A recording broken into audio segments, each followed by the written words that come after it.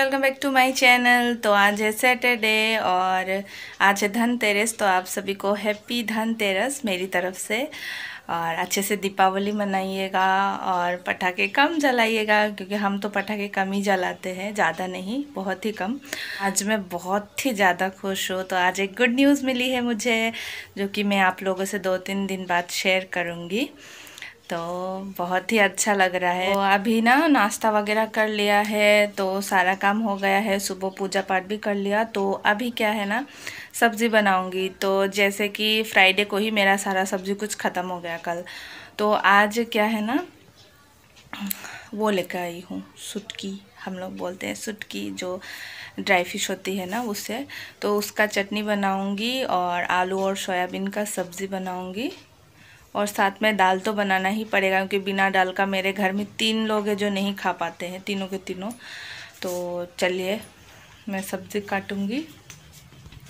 और सबसे पहले बर्तन धो लूँगी ब्रेकफास्ट का जो बर्तन है वो, उसके बाद सब्ज़ी काटूँगी। मैं और मेरी मम्मी मैं स्कूल से मैं जा रही हूँ अपने घर। तो चलिए, ये मेरी आज की ब्लॉग है। कल मैं आप लोग को हैप्पी दिवाली का सैम बोलूँगी हैप्पी दिवाली सैम दिवाली भी आप लोग को हिंदी पे हैप्पी दिवाली सैम बोलना चाहे। हैप्पी ना दिवाली, ये तो हम लोग ऐसे वैसे बोलते ही रहते हैं। हम लोग रास्ते पे हैं, चल चल के जा। ये देखिए घर पास से है मैं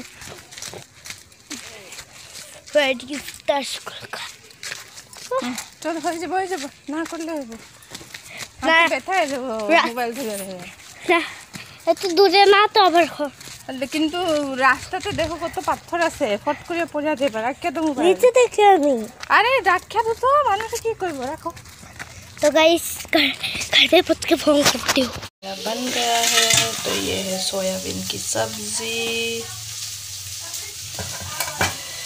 दाल। और यहाँ पर बन रही है मेरी सुटकी की चटनी।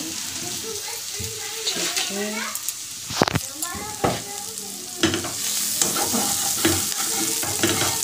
तो अभी मैं बना रही हूँ सुटकी की चटनी तो इसे ना थोड़ा भून लेंगे, फिर इसमें थोड़ा पानी ऐड कर कर और ढक कर रख देंगे। हो जाएगी और साइड में मैंने चावल चढ़ा दी है तो आज शाम को मार्केट जाना है। देखती हूँ छोटा सा कुछ खरीद लूँगी धनतेरस के लिए।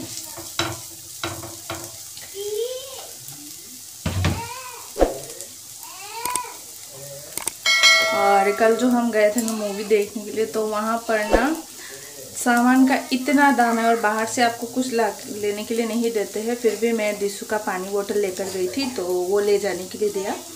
क्योंकि बच्चा का था तो ले जाने के लिए दिया, गर्म पानी लेकर गई थी। तो हमने पॉपकॉर्न लिया था ना तो वो टू हंड्रेड बोल रहा है। बाप रे बाप, इतना दाम। और वो ज़्यादा बड़ी बास्केट नहीं थी, छोटी सी थी, कागज़ की जो होती है ना मीडियम साइज़ की वो था। इतना दाम, और एक कप कॉफ़ी का कितना फिफ्टी तो हमने दो कॉफ़ी और एक पॉपकॉर्न लिया था।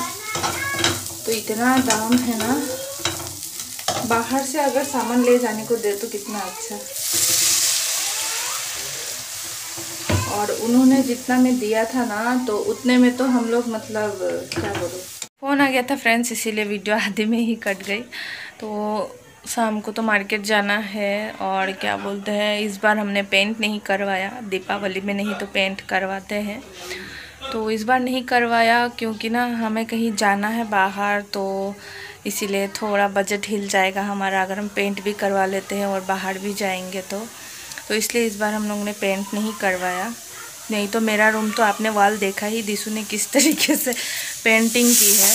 तो थोड़ी दिन उसे वैसे ही रखते हैं, उसके बाद, वहाँ से आने के बाद, उसके बाद देखेंगे तो पेंट करवाने के लिए।